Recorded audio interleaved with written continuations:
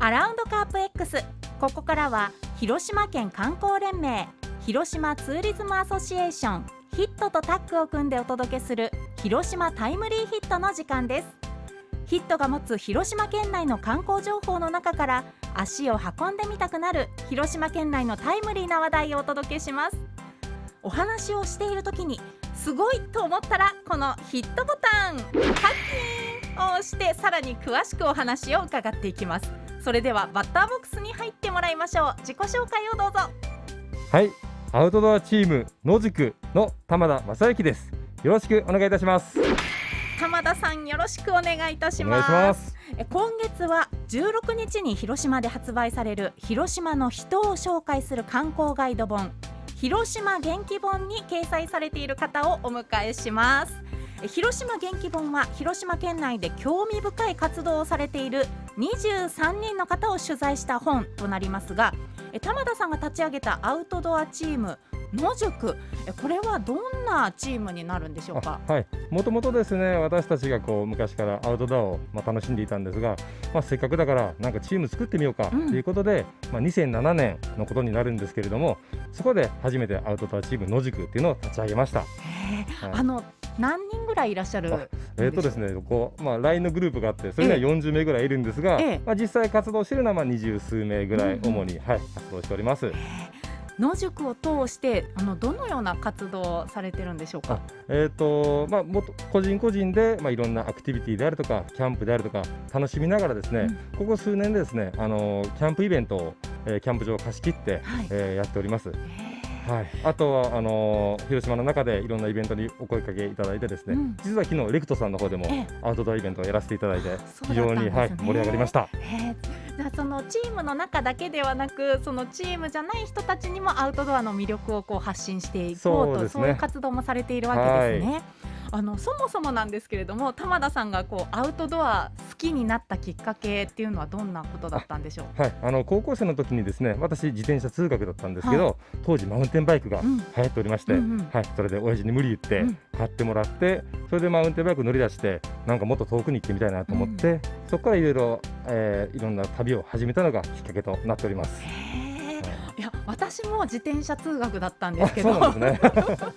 アウトドアにあの目覚めなかったんですけどね、まあ、でもあの自転車でこう通学してると結構ねその街のいろんな状況が見れたりして楽しなんですよね。いですよね。はい、楽しかったですね。うん、なんか毎日同じ景色でもちょっとずつね違っていたりっていう、はい。あのそういう発見は確かに自転車乗っててあったなと思いますね。あのこれまでこう野宿でやってきた中で、はいこうこれは楽しかったな皆さんに紹介したいなっていうアウトドアはありましたか？やっぱりあの私たちえっと推してるのが自転車。はい。まあ、広島って割と山、川、海が近くにあってあのコンパクトにまとまってる感じでですね、自転車で本当どこへでもこう行けて本当今おっしゃったようにあのいつもの風景がうん。乗って走ることによってなんか変わってみるなというのがえ楽しいかなと思ってます。うんやっぱりね自転車推しということですね。うん、特にあのもうね尾道のあたりとかもね綺麗ですもんね。はいろんなこう素敵な景色がある広島なんですけれども。えラジオを聞いてる人たちに今おすすめしたいこの時期ならではのアウトドアなんてあります？ちょっと寒い時期ですけれども。寒い時期。ああの自転車って、うん。まあ、さっき言ったようにあのやっぱり漕いでたらあの結構温まりますよね、はいはい。乗り始めは寒いから、うん。なんかちょっと嫌だなと思っても漕いでるうちに温まって、はい。それでお気に入りのスポットを見つけていただいて、ええーっとまあ何でもいいんです。もうパン屋さん好きなパン屋さんのパン買って、うん。まあ、ちょっとコーヒーと一緒に飲むとかそれをす一歩進めば自分でこうお気に入りの、まあ、道具を買ってですね、うんそれを使ってまたさらに楽しんでいただくということを私はお勧めしたいなと。思います寒い時期でもやっぱり自転車、はいなるほど。あのどうですかね？初心者の人とかってどういうふうに自転車選んだらいいでしょうか？あまあ、あのまずはですねやっぱりこう信頼できる自転車屋さんをうん。こう見つけていただいて、はい。自転車屋さんのスタッフとうん。仲良くなってもらって、うんうんそこからいろんな情報をですね仕入れるのがいいんじゃないかなとあ思います。ー。まあ、こういうふうに乗りたいんだとかこういう使い方をしたいっていうのをそのスタッフの方と話し合いながら決めるということですかね。結構じっくりねあの、うん。相談乗ってくだくださるんじゃないかなと思います。あの今まで本当にあの広島の中でもいろんなところでアウトドアされたと思うんですけれども、その広島で行うそのアウトドアの魅力っていうとどういったところでしょあやっぱりこう本当すぐにうん。山、ええ。川、海へ行けるという、うん。なかなかこういった県って少ないと思うんですよ。うん。本当に思い立ったらもうすぐちょっと今日海見たいなと思っても、まあ、行けますよね。はい。山行きたいなと思っても行けるし、うん。はい、今の時期だったら本当星も綺麗なんで、うん。ちょっと星を見に行こうかなとかどこでも本当にすぐに思い立ったら行けるというのが魅力なんじゃないかなと思ってます。うん。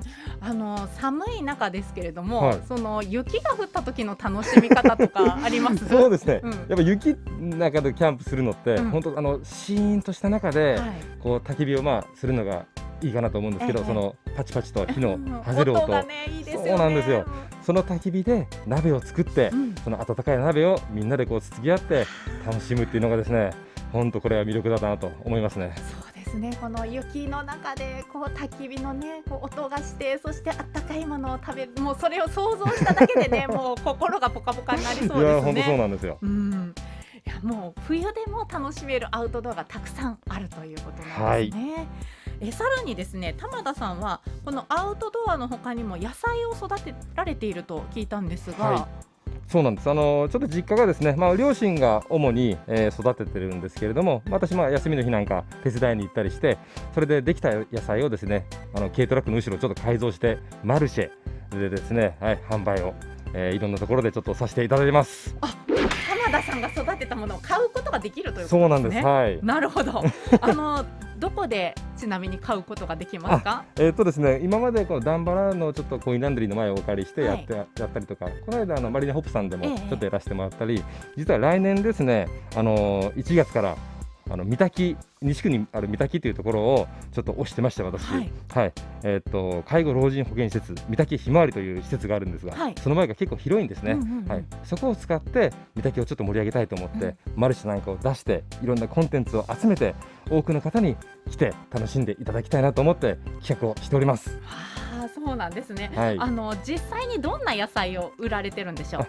えーっとですね、もう作ったオーガニック野菜、うんもう完全無農薬で、えー栽培しておりまして本当召し上がっていただく方にもう安心を、えーお届けすると、まあ、ちょっとねあの虫が食ってたりとか、ええちょっと形が悪かったりとかはするんですけれども、まあ、でも本当あこういうのがいいよねということで、えーお買い求めいただいております。安心できるお野菜を売っているということですね。いやーいや食べてみたいですね。どんなお味なのかなって。そしてあの三滝もあの私も大好きです。そうなんですね。はい、あの山登った。りとかね、はい、しますし。そうそうね、はい本当にみんなね結構三滝あの人気ですね、うん人気のあの街。中からすごく近いのにもうすぐそこに自然がねたっぷりあそりうなんですよ。はい。うん、いや三滝ぜひ訪れていただきたいと思います。はい。えそれでは最後にラジオをお聞きの皆さんにメッセージをお願いします。はい、えー私たち野宿はですね本当にこれからもいろんなイベントをやっていきたいと思っております。